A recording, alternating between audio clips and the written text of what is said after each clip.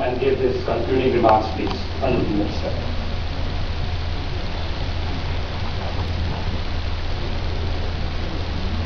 dignitaries on the dais, of the dais, friends, ladies and gentlemen. I understand the session and discussion during the last few days have been fruitful and productive. Challenges facing several countries in Africa are similar to ours. Some of our solutions may also be similar. This meeting has brought us face to face. It has been possible to discuss and arrive at some roadmap for our future cooperation.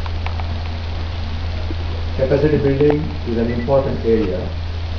Let us embark upon programs to build capacities in thematic areas, agriculture, remote sensing, technology and for decision support system, land and water management, renewable energy, herbal medicine and traditional knowledge are areas where we could build capacity.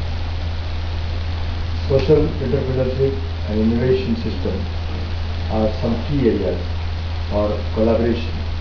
Let us work together. Stage is set for partnership between countries in Africa and India in science and technology sector. Our ministry will extend all support in making our sister uh, continents becoming stronger in knowledge, economy. I extend hand of strong and strategic partnership and I wish you all safe journey